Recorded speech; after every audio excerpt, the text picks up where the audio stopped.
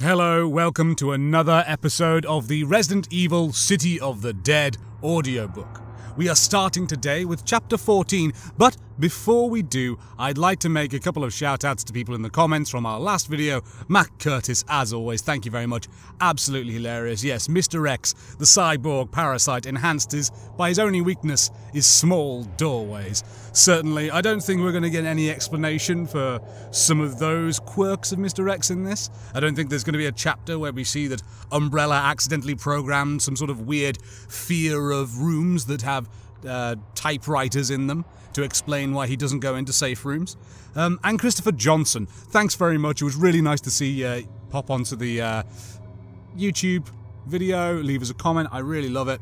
Okay, we're going to carry on now with chapter 14. And chapter 14 brings us back to Police Chief Brian Irons, one of the creepiest men in Resident Evil. So beautiful. Even in death, Beverly Harris was radiant, but Irons couldn't risk having her wake up while he wasn't watching. He carefully folded her into the stone cabinet beneath the sink and latched it, promising himself that he would take her out when he had more time. She would become the most exquisite animal he'd ever transformed, posed and forever perfect once he'd prepared her the proper way. A dream come true. If I have time. If there's any time left. He knew he was feeling sorry for himself again, but there was no one else to commiserate with. No one to marvel at the sheer magnitude of all that he'd suffered. He felt terrible, sad and angry and alone, but he also felt that things had finally become clear. He knew now, knew why he was being persecuted, and that awareness had given him a focus. As depressing as the truth was, at least he was no longer lost. Umbrella. An umbrella conspiracy to destroy me. All along.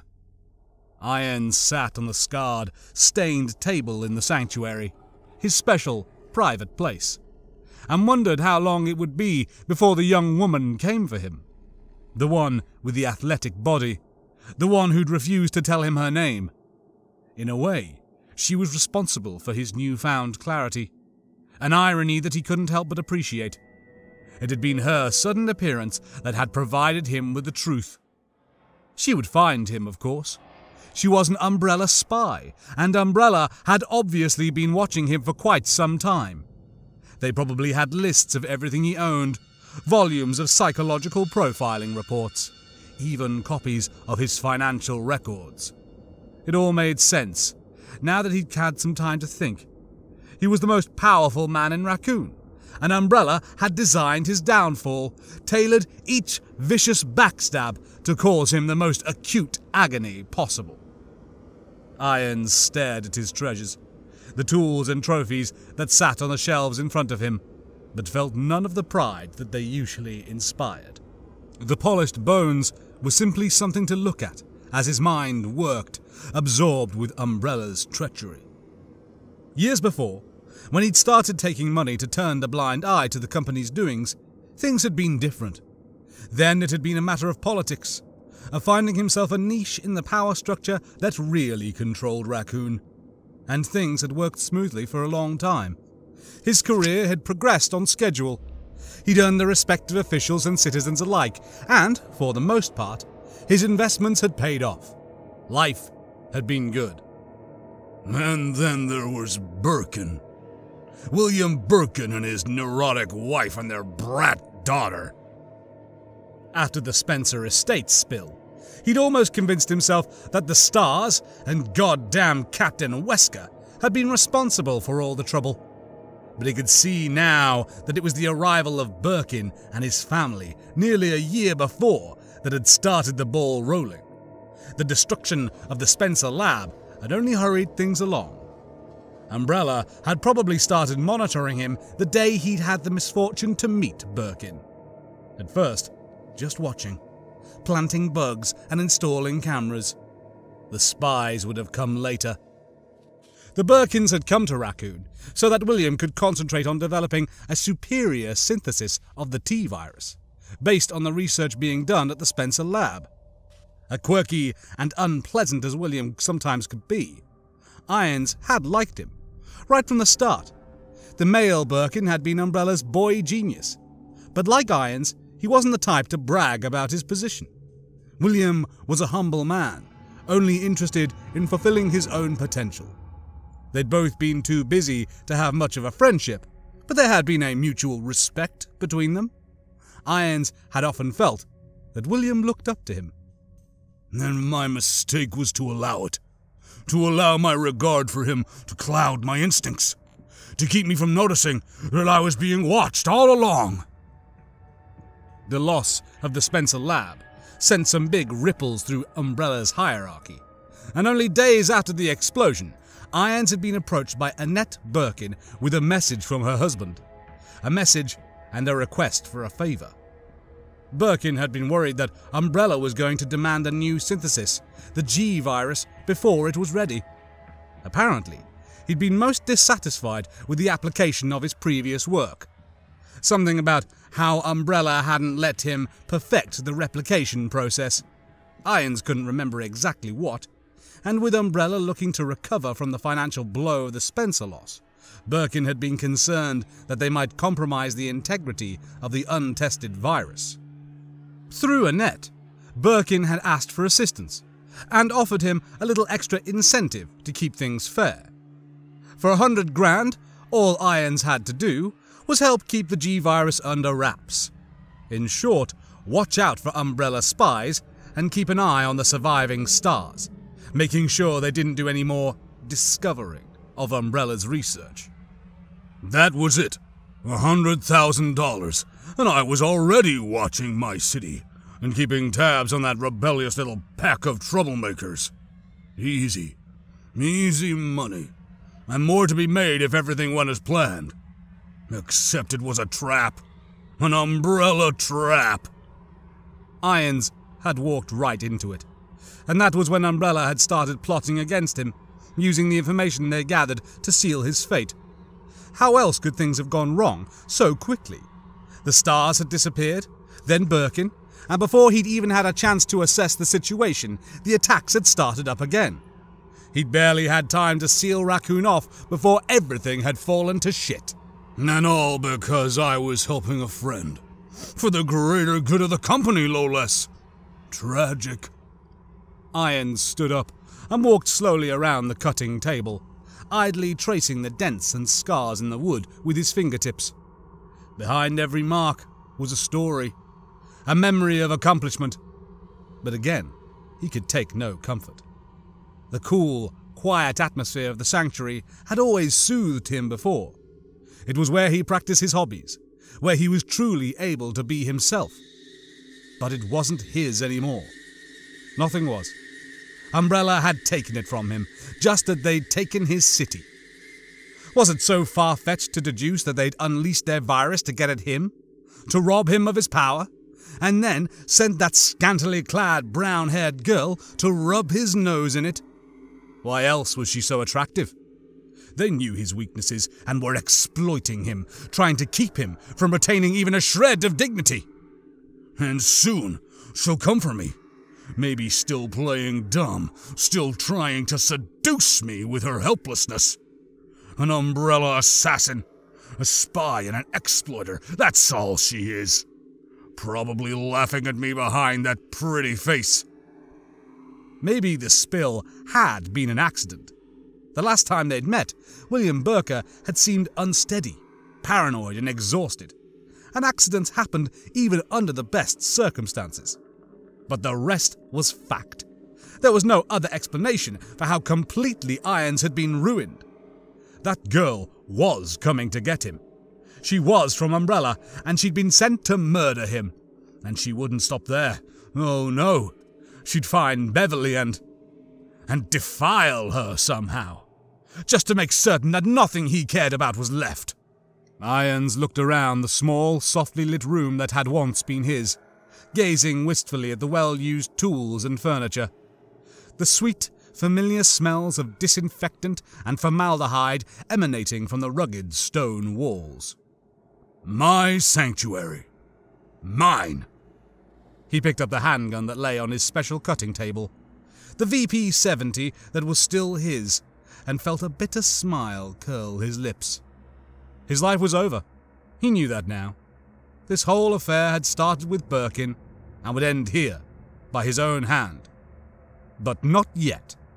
The girl would come for him, and he would kill her before he said his final goodbyes to Beverly, before he admitted his defeat by taking a bullet.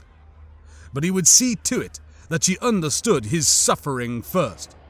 For every torture he'd endured, the girl would pay. The bill settled through flesh and bone, and as much pain as he could inflict. He was going to die, but not alone, and not without hearing the girl scream in agony, creating a voice for the death of his dreams. A voice so clear and true that the echoes would reach even the black hearts of the company executives who had betrayed him. The STARS office was empty, cluttered and cold, layered with dust. But Claire was reluctant to leave. After her stumbling, frightened flight through the body strewn halls of the second floor, finding the place where her brother had spent his working days had left her feeling weak with relief. Mr. X hadn't followed her, and although she was still anxious to help Sherry and find Leon, she found herself lingering, afraid to step back into the lifeless halls and hesitant to leave the one place that felt like Chris. Where are you, big brother? What am I gonna do? Zombies, fire, death, your weird chief Irons, and that lost little girl. And just when I thought things couldn't get any more insane, I get to face off with the thing that would not die. The freak to end all freaks. How am I gonna get through this? She sat at Chris's desk, gazing at the small strip of black and white pictures that she'd found tucked in the bottom drawer. The four shots were of the two of them, grinning and making faces. A photo booth memento of the week they'd spent in New York last Christmas. Finding this strip had made her want to cry at first. All of the fear and confusion she'd been holding back finally surging to the front at the sight of his well loved smile. But the longer she'd looked at him, at the two of them laughing and having a good time, the better she'd started to feel. Not happy, or even okay, and no less afraid of what was to come. Just better, calmer, stronger. She loved him, and knew that wherever he was, he loved her back, and that if the two of them had been able to survive the loss of both their parents, to build lives for themselves, and share a silly Christmas vacation in spite of having no real home to go to, then they could cope with anything. She could cope. Can and will. I'm going to find Sherry and Leon and, God willing, my brother. And we're going to make it out of Raccoon. The truth was, she didn't really have any choice. But she needed to go through the process of accepting her lack of options before she could act. She'd heard before that real bravery wasn't an absence of fear. It was accepting the fear and doing what was necessary anyway. And once she'd sat for a moment, thinking about Chris, she thought that she could do just that. Claire took a deep breath, slipped the photos into her vest, and pushed away from the desk. She didn't know where Mr. X had been headed, but he hadn't seemed like the waiting around type. She would head back to Irons' office and see if Sherry had come back, or Irons for that matter. If X was still there, she could always run. Besides, I should have searched his office, try to find something about the STARS. There's nothing here that can tell me anything. Standing, she took a last look around, wishing that the STARS office had offered a little more in the way of supplies or information. All she'd found of any use was a discarded fanny pack in the desk behind Chris's. According to the expired library card in one of the pouches, it had belonged to Jill Valentine. Claire had never met her, but Chris had mentioned her a couple of times, said she was good with her gun. Too bad she didn't leave one behind. The team had obviously cleared out all of the important stuff after their suspension, although there was still a surprising number of personal items left around framed pictures and coffee mugs and the like. She'd spotted Barry's desk right away from the partly finished plastic gun model on top. Barry Burton was one of Chris's closest friends, a huge, friendly bear of a man and a serious gun nut. Claire hoped that wherever Chris was, Barry was with him, watching his back with a rocket launcher. And speaking of, on top of everything else, she'd needed to find another weapon, or more ammo for the 9mm. She had 13 bullets left, one full clip, and when those were gone, she was SOL. Maybe she should stop and check some of the corpses on the way back to the East Wing. Even in her panicked run, she'd noticed that some of them were cops, and the handgun was an RPD issue. Claire didn't like the idea of touching any of the dead bodies, but running out of firepower was distinctly less desirable, particularly with Mr. X running around. Claire walked toward the door and pushed it open, trying to get her thoughts organized as she stepped back into the dim hall. Leaving the office put a damper on her resolve. She had to suppress a shudder at the still vivid image of Mr. X as she closed the door behind her, suddenly feeling vulnerable again. She turned right and started back toward the library, deciding that she wouldn't think about the giant unless she had to. Wouldn't dwell on the memory of those blank, inhuman eyes, or the way he'd raised his terrible fist, as if driven to destroy anything in his way. So knock it off already. Think about Sherry. Think about getting some goddamn ammo or how to handle Irons if you can find him. Think about trying to stay alive. Just ahead, the dark wooden hall turned right again, and Claire tried to steel herself against the task at hand. If memory served, there was a dead cop around the corner, and, like I can't tell by the smell, and she'd have to search him. He hadn't been too disgusting, at least, not that she'd noticed. Claire turned the corner and froze, staring, her stomach knotting, telling her that she was in danger before her senses could. The body that she'd jumped over on the way to the STARS office was now only a bloody, tangled mess, flesh and broken limbs and shredded uniform. The head was gone, although there was nowhere to tell if he'd been taken away or just smashed into an unrecognizable pulp. It looked like someone had taken a sledgehammer or an axe to the corpse in a few moments before she'd passed it, beating it to a clotted smear. But when? How? I didn't hear anything. Something moved. A shadow, soft and darting over the mashed remains, some twenty feet in front of her. At the same time, Claire heard a strange, rasping sound. Breathing. And she looked up, still not sure what she was seeing or hearing. The ragged breathing and the tick of talons on wood. The talons themselves, thick and curved, the claws of a creature that couldn't exist. Big, the size of a full grown man, but the resemblance ended there, and it was so impossible that she could only see it in pieces, her mind struggling to put them together. The inflamed, purplish flesh of the naked, long limbed creature that clung to the ceiling. The puffed, grey white tissue of the partially exposed brain. The scar rimmed holes where the eyes should have been. Not seeing this. The creature's rounded head dropped back, the wide jaw opening a ropey stream of dark drool pouring out and splattering over what was left of the cop. It extended its tongue, eely and pink, the rough surface shimmering wetly as it slithered out. And out and out. The snaking tongue uncoiling and whipping from side to side, so long that it actually trailed through the ripped flesh of the corpse. Still frozen, Claire watched in horrified disbelief as the incredible tongue snapped back up flicking droplets of blood through the shadowy air. The entire process had taken only a second, but time had slowed to a crawl. Claire's heart beating so fast that everything else was in slow motion. Even the creature's drop to the wooden floor, its body flipping in midair so that it landed in a crouch atop the mutilated cop. The creature opened its mouth again and screamed and Claire was finally able to move as the bizarre, hollow shriek erupted from the monster, able to point her weapon and fire. The thunder of 9mm rounds drowned out the howl that echoed through the tight hallway. Bam! Bam! Bam! And still screaming that chilling, trumpeting cry, the creature was thrown back, its claw tipped arms flailing, its spasming legs kicked up bloody chunks of the eviscerated body.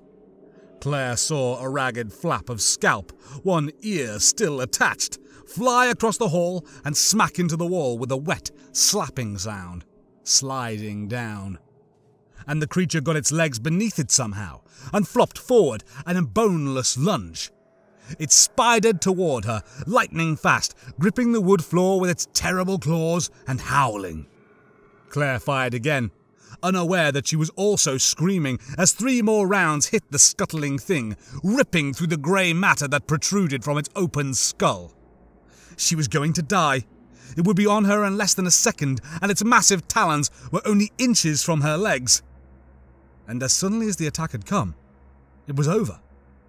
Every part of the sinewy body quivered and shook as liquid grey dribbled from its burbling head the thick claws tapping wildly against the wood floor in a frantic tattoo. With a final, whispering whine, the creature died. There was no mistaking it this time. She'd blasted through its brain. It wasn't going to get up again. She stared down at the monster, her shocked mind digging for something to relate it to, some animal or even a rumour of an animal that came close. But she gave it up after a few seconds recognizing it as a lost cause. This was no natural creature, and as close as it was, she could finally smell it. The odour was not as pungent as the zombies. It was a bitter, oily smell, somehow more chemical than animal. And it could smell like chocolate chip cookies. Who gives a shit? Raccoon City's got monsters. It's time to stop being so goddamn surprised when you see one of them. The chiding tone in her mind's voice wasn't particularly convincing. As much as she wanted to feel brave and determined to step over the monstrous creature and to get on with things, she just stood for a moment. And for that moment, she thought very seriously about going back to the STARS office, going inside and locking the door behind her. She could hide, hide and wait for help. She could be safe. Decide then. Do something. One way or another, stop this wavering and whining because it's not just you anymore. Will Sherry be safe? Do you want to survive at the cost of her life? The moment passed. Claire took a careful step over the raw, red flesh of the creature and crouched down next to the cop's remains, using the muzzle of the handgun to push a torn piece of the bloody uniform aside. She swallowed down bile as she poked through the rotten flesh and bone working hard not to think about who the cop had been or how he had died. Nothing, and she now had only seven bullets left, but she refused to panic, letting the disappointment fuel her determination instead. If she could search one bloody mess, she could search another. With a last look at the dead, animal thing, Claire stood and walked quickly toward the end of the corridor. Her decision made. No hiding, and no more running from the fear. At the very least, she could take a few of the monsters with her, raising Sherry's chances of escape. It could be better to die trying than not at all. She wouldn't waver again. Chapter 14 ends with us finally seeing a licker, and I am very happy about that. Lickers, to me, are one of the greatest horror moments in Resident Evil, um, particularly Resident Evil 2, particularly Jack my brother, you know that that goddamn bit that you showed me when I was a kid, and I wasn't ready for it when you're in the interrogation room and it bursts through the window, scared the poop out of me. It was terrifying, utterly terrifying. and I love seeing it, and I, I like the fact that we got some horror. It was just about how scary it is to come into contact with a monster like a Licker. You know, and I think this is the thing with books. Books, I, I quite like kind of action or horror elements in books. And I'm aware that sometimes you can't do the same things because you're reading. You can't, you know, just like have big long descriptions of how they ran up a wall, they shot over here, they then ducked under this table. You know, it, it, sort of doesn't work in prose as much. You have to kind of truncate your action a lot more. So it ends up a lot shorter uh, so that you don't just have these tedious paragraphs of explaining where people moved, which can often also get quite confusing. But I, I think that that scene did it quite well. I think we put the emphasis on the bits we needed the desperation of Claire, the fact that it was really fast, but it was like hard and that she's been left in a worse situation afterwards gives you the gravity of the situation, even though it is short. At least that's what I think. How did you guys find it? Did you enjoy that sequence? Um, I'm certainly. I think I'm a little bit disappointed maybe that it, it came this late on in, in the book. It, like, you know, we're sort of getting towards the halfway point and I would have. I don't like the fact that the lickers had been mentioned multiple times already, and that was the only time we'd seen one. But but hey, hey, I'm, I'm happy that we've had one now. Also, the scene of Claire digging through the remains of the corpse, I am very happy to see that. That's a part of Resident all Resident Evil games, really, and a lot of games, in fact, actually, that doesn't get spoken about. How much you have to touch corpses and what you have to do to get loot. Um, do you like that? Do you sort of how do you feel in games when you're playing a game and you're picking something off a dead body? Do you ever think about what you would be like to be in that situation of actually having to move them to touch their cold, clammy skin to smell the scent of decay on your fingers as you rummage for the items that may save your life? D- d- does it feel as dramatic as that, or is it just like, nah, mate, it's a game, I'm getting my items, shut up? Let me know. And we'll move on to chapter 15. Leon found Ada in the kennel, straining to lever up the rusted manhole cover that the reporter had told them about. She turned up a crowbar from somewhere and had wedged it between the thick iron plate, her well defined biceps lightly sheened with sweat as she worked the bar. She'd managed to raise the cover about an inch, but let it drop back into place as he walked in, the metallic clang loud in the cold, empty room. Before he could say anything, she laid the crowbar on the cement floor and looked up at him with a strained, half smile, brushing at her rust dirty hands. I'm glad you're here. I don't think I'm strong enough to do this by myself. He hadn't been sure before, but the helpless look she gave him cinched it. She was playing him. Or trying to. He'd known Ada for all of 20 minutes, but he doubted, seriously, that she'd ever been helpless about anything. Looks like you're doing just fine, he said, holstering the magnum, but not making any move toward the manhole. He crossed his arms, frowning slightly. He wasn't angry, just curious. Besides, what's the hurry? I thought you wanted to talk to the reporter. About John, your umbrella friend? The woman in distress look melted away, and her delicate features turned cool and hard, but not in a bad way. It was as though she was letting her real self show, the strong and self assured Ada he'd first met. Leon could tell that he'd surprised her by not rushing to her aid, and was glad to see it. He had enough to worry about without being manipulated by a mysterious stranger. She'd been very careful to avoid his questions, but it was time for Ms. Wong to explain a few things. Ada stood up, meeting his gaze evenly. You heard him. He wasn't going to tell us anything. And with this place as dangerous as it is, I don't really want to stand around waiting for him to develop a conscience. She dropped her gaze, her voice softening. And I don't even know if John's in Raccoon, but I do know that he's not here, and I want to leave before the station's completely overrun. It sounded good, but for some reason, he had the feeling that she was holding something back. For a few seconds, he struggled to think of a polite way to get her to open up, then decided to hell with it.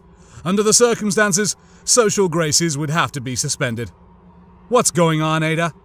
Do you know something you're not telling me? She looked at him again and again. He had the feeling that he'd surprised her, but her cool, dark gaze was as unreadable as ever. I just want to get out of here, she said, and the sincerity of her tone was impossible to deny. If he didn't believe anything else she'd said, he had to believe that. And I wish it was that easy.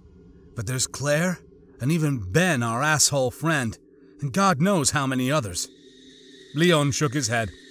I can't leave. Like I said, I may be the only cop left around here. If there are still people in the building, I have to at least try to help them and I think it'd be best if you came with me. Ada gave him another one of her half smiles. I appreciate your concern, Leon, but I can take care of myself. He didn't doubt it, but he also didn't want to see her abilities tested. Granted, he was pretty untested himself, but he'd been trained to deal with crisis situations. It was his job. And to be honest with yourself, you lost Claire. You couldn't help Branna, and Ben Bertolucci could give a rat's ass for your protection skills. You don't want to fail with Ada on top of all that. And you don't want to be alone. Ada seemed to know what he was thinking. Before he could come up with a convincing argument, she stepped forward and put one slender hand on his arm, the humor fading from her bright eyes. I know you want to do your job here, but you said it yourself. We have to find a way out of Raccoon. Try and get outside help. And the sewers are probably the best chance we've got. The light, gentle touch surprised him and sent an electric flutter through his belly, an unexpected flush of warmth that left him feeling confused and uncertain. He managed to keep his reaction from showing, but just barely. Ada continued, frowning thoughtfully. How about this? Help me with the manhole cover, and let's see what's down there. If it looks dangerous, I'll come with you. But if it's not bad, well, we can talk about what to do next. He wanted to protest, but the truth was, he couldn't make her do anything she didn't want to do. And he wanted very much for her to know that he wasn't some overbearing macho type, that he was receptive to compromise. And does the name John ring a bell? This isn't a date for Christ's sake. Stop thinking with your hormones. Feeling awkward, even thinking about it, with her hand still on his arm, Leon stepped away, nodding briskly. Together, they crouched down next to the manhole. Leon picked up the crowbar and jammed one end beneath the lid. As he pulled back, Ada pushed on the bar, and with a heavy grating sound, the thick metal plate came up. Leon put his back into it and heaved the lid to one side, clearing the opening. And both of them recoiled back from the smell that bellowed out of the dark hole. A choking, dark stench of blood, piss, and vomit. Ugh, what is that? Leon coughed. Ada sat back on her heels, one hand pressed to her mouth. The bodies from the garage. They must have dumped them down here. Before he could ask what she was talking about, a scream of pure terror echoed through the basement halls, filtering through the closed door. The cry went on and on. A man's voice. The panic scream suddenly changing to a gurgling shriek of pain. The reporter! Leon locked gazes with Ada, saw the same startled realization flash across her face. And then they were both up and running, pulling out their weapons and sprinting through the door before the echoes died. I left him, and I shouldn't have left him! They ran down the corridor for the cell block, guilt driving Leon to run faster than he thought he could. Someone or something had gotten to Bertolucci and had passed right behind his back to do it. Sherry stood in Mr. Irons's office, rubbing at her good luck pendant and wishing that Claire would come back. She had crawled through a dozen dusty tunnels to get away from the monster and to lead it away from Claire, and was pretty sure it had worked. She hadn't heard it again and had come back to find that Claire had left. If the monster had found her, she would have been dead and ripped apart. But she's not here. Nobody is. Sherry sat on the edge of a low table in the middle of the room, wondering what she should do. She'd gotten used to being alone, and hadn't even realized how lonely she'd been. But meeting Claire had changed that. Sherry wanted to see her again. She wanted to be with other people. She wanted her parents so bad that it made her ache. Even Mr. Irons would be okay, although Sherry didn't like him. She'd only met him a couple of times, but he was weird, showy, and fake and his office was creepy besides. Still, she gladly put up with him if it meant she didn't have to be alone anymore. Footsteps. In the hall, outside of the office. Sherry stood up and ran to the open door that led back to the armor room, hoping it was Claire and ready to sprint for cover if it wasn't. She ducked around the doorframe and held her breath, staring at the stuffed tiger in the hall and silently praying. The outer door opened and closed, muffled steps on the carpet, moving slowly, and she tensed to run. At the same time trying to muster up enough courage to sneak a look. Sherry? Claire! I'm here! She ran back into the office, and there was Claire, her whole face lit up with a beaming smile. Sherry flew into her open arms, so happy to see her that she wanted to cry. I was looking for you, Claire said, holding her tightly. Don't run off like that again, okay? Claire knelt in front of her, still smiling, but Sherry could see the worry behind the smile and in her cool grey eyes. I'm sorry, Sherry said. I had to, or the monster would have come. What does it look like? Claire asked, her smile fading. Does it look kind of red? With claws? Sherry swallowed heavily. The inside out men. You saw one, didn't you? Claire grinned, shaking her head. Yep, that's exactly what I saw. An inside out man. Good description. She looked at Sherry more seriously, frowning. Men? There are more of them? Sherry nodded. Yes, but they aren't anything like the monster. I only saw him once, from behind, but he's a man. A giant man. Claire seemed excited. Bald? Wearing a long coat? No, he had hair. Brown hair. And one of his arms was all screwed up. A lot longer than the other one. Claire sighed. Terrific. Raccoon's got something for everyone, sounds like. She reached out and took Sherry's hand, squeezing it. And that's all the more reason that you should stay with me. You've done a really good job of taking care of yourself, and you've been very brave. But until we find your parents, I feel like it's my job for now to watch out for you. And if the monster does come, I'll. I'll kick its ass, okay? Sherry laughed, surprised into it. She liked that Claire didn't talk down to her. She nodded and squeezed Claire's hand again. Good. So we got zombies, Inside Out Man, and a monster, and a big bald guy. Sherry, do you know what happened to Raccoon? How this all got started? Anything you can tell me, anything at all. It could be important. Sherry frowned, thinking. Well, there were a bunch of murderers last May, or June, I think. Like, like ten people got killed, and then they stopped. But then maybe a week ago, somebody got attacked. Claire nodded encouragingly. Okay, did more people start getting attacked? Or what did the police do? Sherry shook her head, wishing she could be more helpful. I don't know. Right before that girl got attacked, my mother called from work really upset and told me that I couldn't leave the house. Mrs. Willis, that's our next door neighbor, she came over and, cooked dinner for me. That's how I heard about that girl. Mom called again the next day and told me that she and Dad were stuck at the plant and wouldn't be home for a while. And then, like three days ago, she called again and told me to come here. I went to see if Mrs. Willis would come with me, but her house was dark and empty. I guess things had already gotten pretty bad by then. Claire was staring at her intently. You were alone? All that time? Even before you got to the station? Well, yeah, but I stay alone a lot. My parents are both scientists. The, their work is important, and, and sometimes they can't stop in the middle of what they're doing. And my mother always says that I'm very self sufficient when I want to be. Do you know what kind of work your parents do at Umbrella? Claire was still watching her closely. They develop cures for things, like diseases, Sherry said proudly, and make medicines, like serums that hospitals use. She trailed off, noticing that Claire seemed distracted suddenly, her gaze far away. It was a look she had seen plenty of times before, on both her parents' faces, and it meant that they weren't really listening anymore. But as soon as she stopped talking, Claire refocused on her, reaching out to pat her on the shoulder, and for some stupid reason, that made Sherry want to cry again. Because she's listening to me.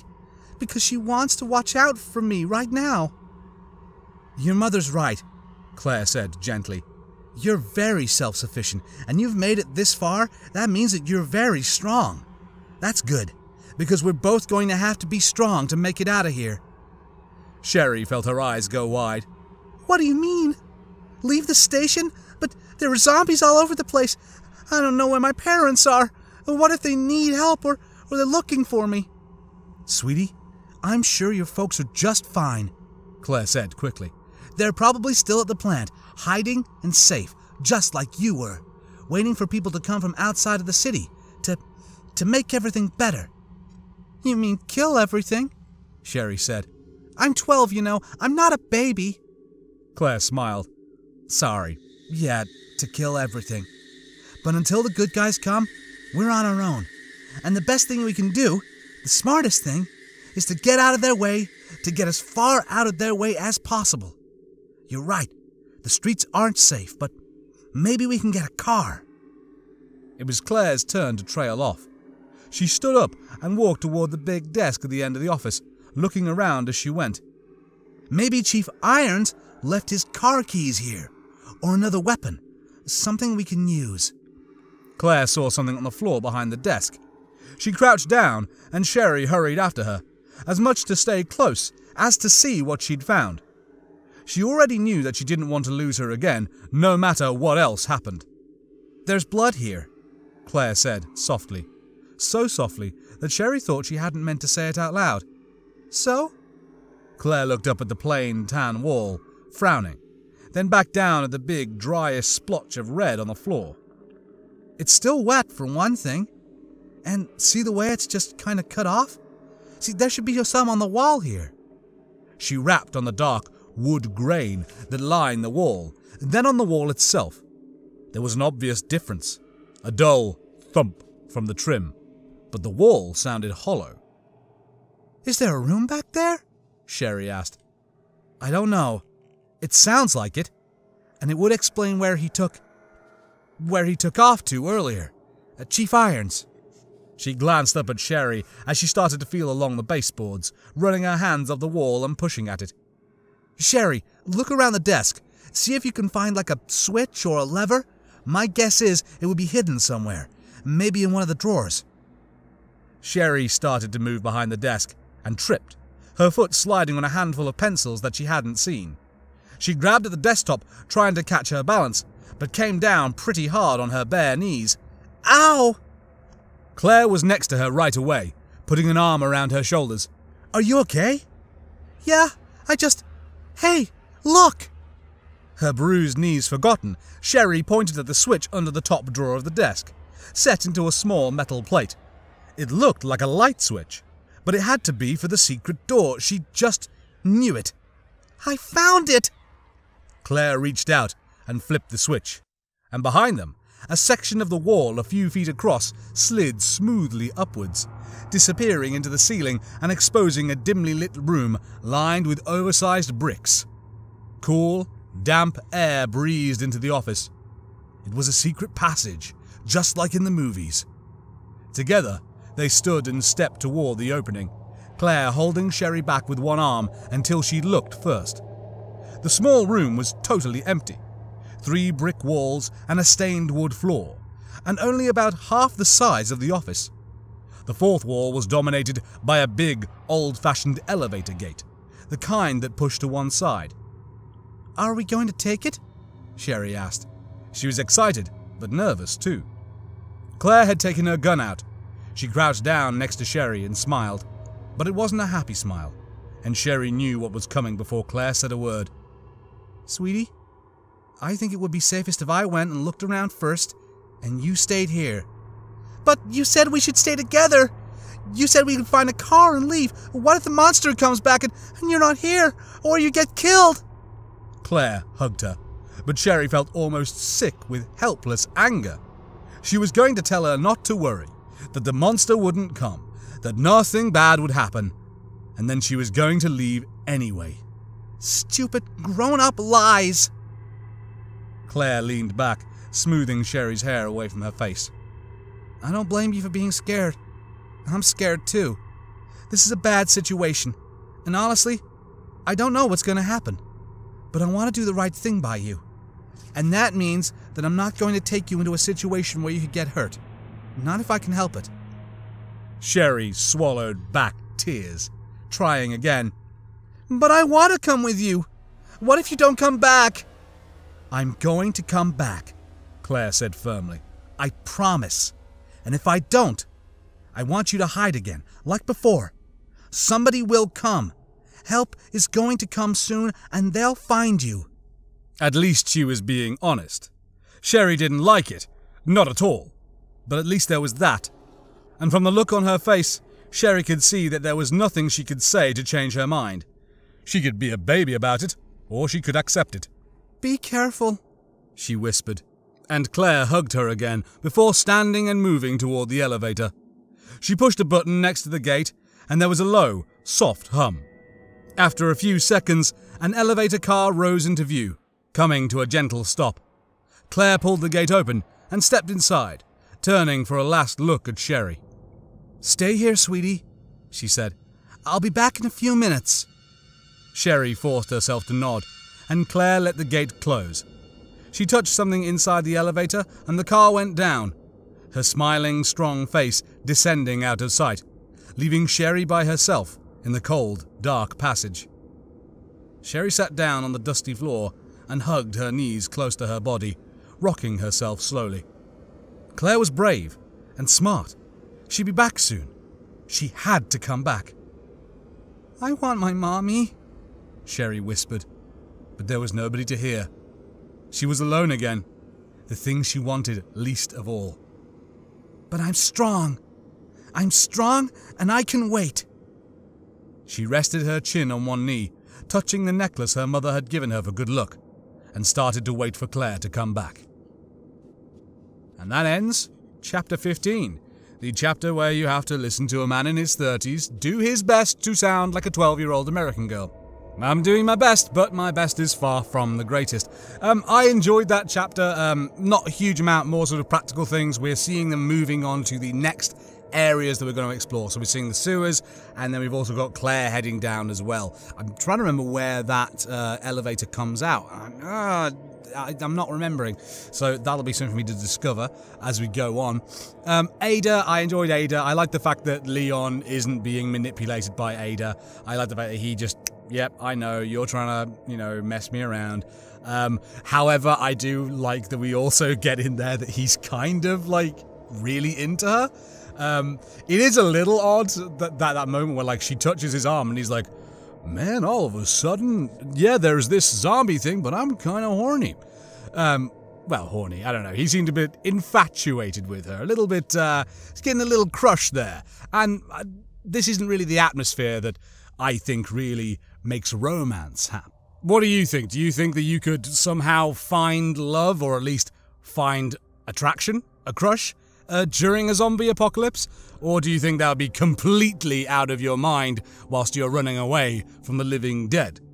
While you're mumbling over that question, we'll move on to chapter 16, which sees us joining Annette Birkin, Sherry's mother. Annette Birkin sat in the laboratory monitor room, exhausted, staring up at the wall of video screens centered over the surveillance console. She'd been there for what felt like years, waiting for William to appear, and was starting to think that he would never. She'd give it a little longer, but if she didn't see him soon, she'd have to do another search. Goddamn technology! It was a brand new system, less than a month old. 25 screens with a channel control that should have allowed her to see any and every part of the facility.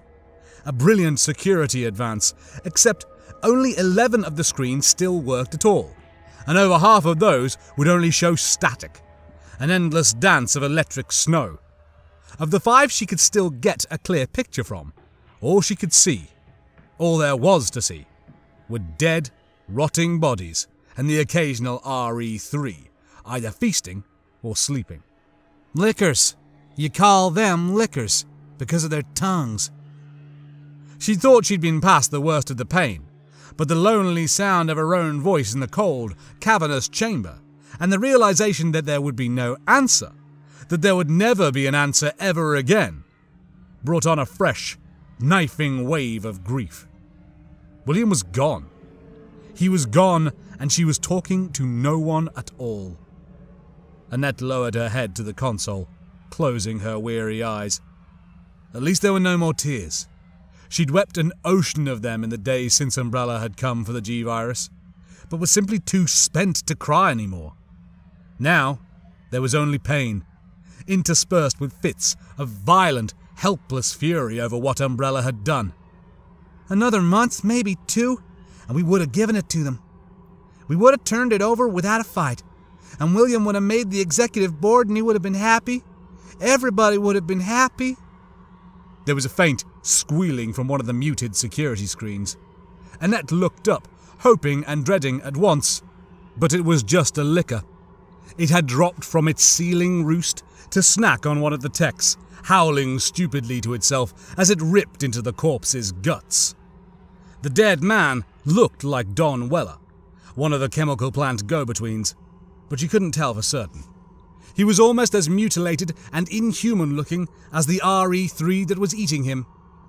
She watched the licker feed, watched the small screen, but didn't really see.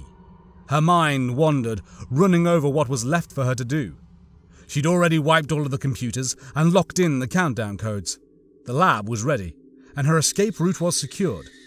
But she couldn't finish things until she saw him again. Saw that he was back in the Umbrella facility.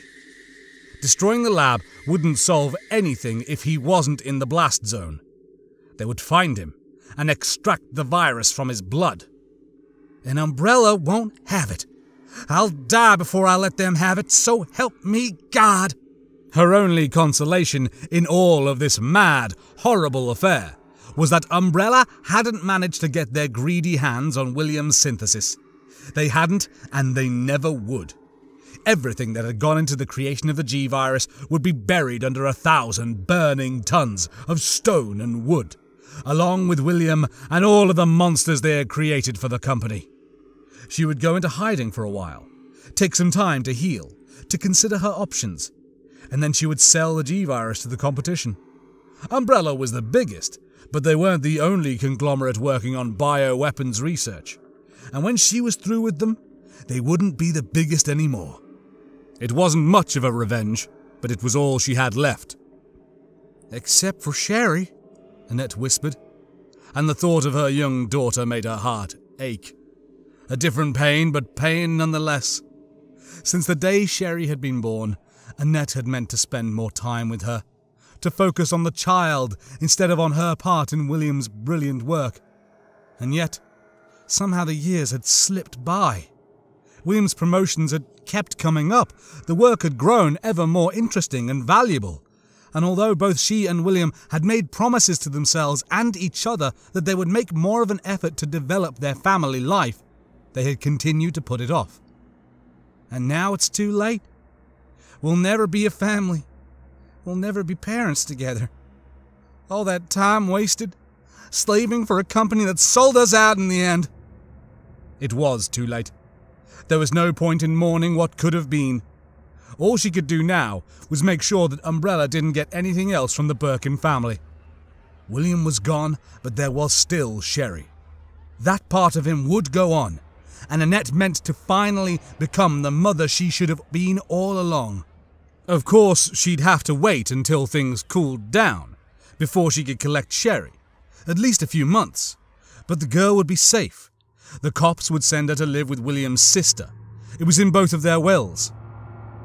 Unless Irons is still alive. That fat, greedy bastard could find a way to screw up even that if given half a chance. She hoped he was dead.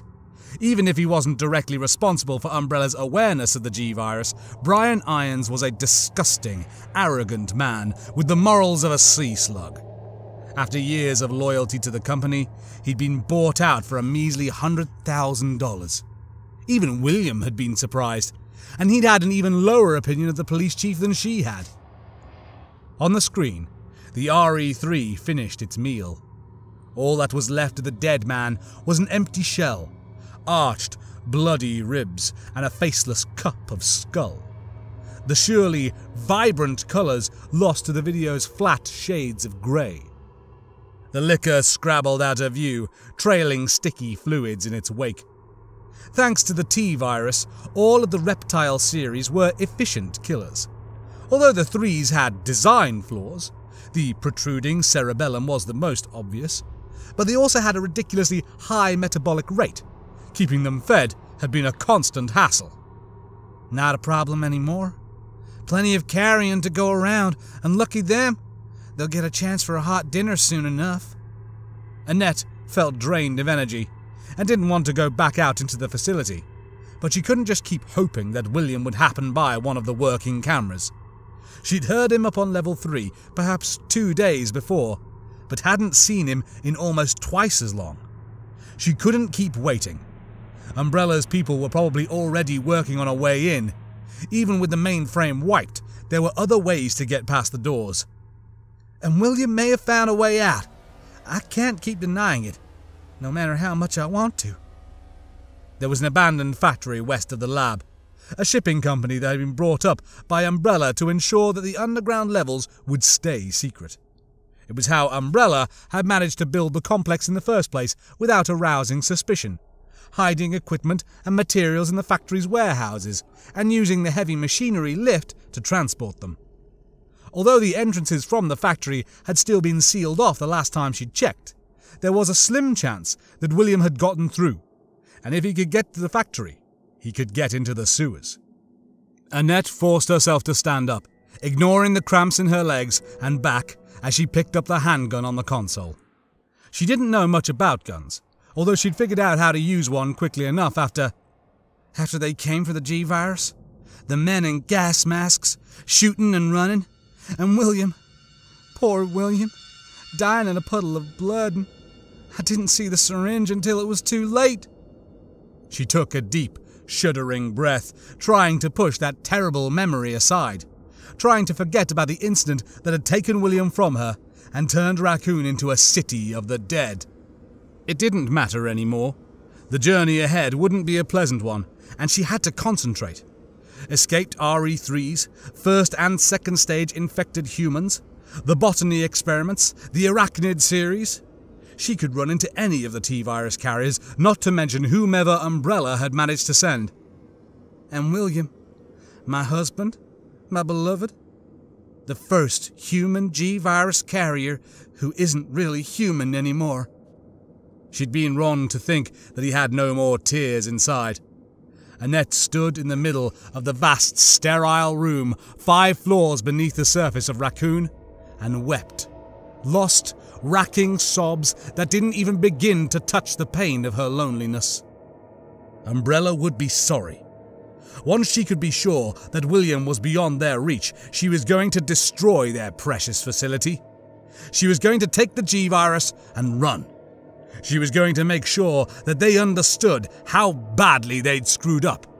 And God help anyone who tried to stop her. And that is the end of chapter 16, a short little chapter there introducing uh, Annette and letting us know what has happened to William. So we had William Birkin mentioned, of course, by Irons earlier, but um, we heard about the $100,000 that William paid Irons to help keep the G virus safe. But this is our first reveal of William Birkin, the monster. The first explanation, obviously, that he's taken the G virus after Umbrella came to collect it. Uh, the men in gas masks, it's our boy Hunk, if y'all remember him. Um, I always used to love playing as Hunk in the Resident Evil 4 uh, Mercenaries mode. Uh, give me a shout out if you like that too. Hunk, best character. Neck snap every time. Um, and uh, actually, I, I bought a gas mask to play, like to pretend to be Hunk uh, when I was like 15 or something, because that's the kind of nerd I was. Um, so we, have that mentioned, and so we now have this reveal of it is William going around. We haven't seen him. Uh, again, the book often talks about things before they turn up. Um, so I will be interested to see how she describes him. I'm also interested to notice that um, when she's talking about the lickers, Annette mentions them being the reptile series, the reptilians, something along those lines. And I'm I have never felt personally that there is a reptile component to the lickers. I suppose it makes a lot of sense actually because they have like long tongues and those weird kind of claws like the three appendages, a bit like a chameleon almost. Chameleons have the big claws, but they have the weird little mitteny hands. So perhaps it's supposed to be that they're like that, um, but I always kind of thought they had human origins with the way that they looked so human shaped other than, you know, like no skin, no eyes, giant claws, big tongue. other than that, you know, and of course the exposed brain. Okay, I get why you might think I'm being stupid for saying that they're kind of human based, but I, I thought they were. I thought they were like modified people. Um, so it's going to be interesting to see. I also kind of thought originally um, that the T virus turned some people into certain things, a bit like the specials in Left 4 Dead. That it's all the same kind of uh, zombie virus, but some people who are affected because of something in their genetics, I guess, uh, get affected a certain way. Was that how you guys felt it worked? Let me know. Um, this book here, though, seems to be very much no. The things that aren't zombies are built creatures made in a lab specifically to be unleashed someday which makes me question what the hell was the purpose of a licker? Slash the purpose of a giant spider. I'm just saying, what military application did you have in mind for your giant bleeding spider? But whilst you guys are mumming that over and deciding whether I'm crazy or not, we'll have to end it there because I'm afraid we've come to the end of our three chapters for this episode. It's been a fun episode, and I'm really looking forward to coming back next week. Um, if you've enjoyed this, please, I always ask, share it with someone else who will enjoy. I want to get people listening to these books. I love these books personally. I would love it if someone listened to this audiobook and then went out and then read the missing book. So we did the first one and we've done this one, which is the third, but we skipped over number two because that's an original story, not based on the games. I'd love it if people went out and got those. But otherwise, please share, please let people know. If you fancy doing the YouTube dance, you can, of course, like, subscribe, and hit that bell icon. Otherwise, they won't tell you when the videos are out, because YouTube kinda sucks. But for now, my friends, that's it, and I will see you next time.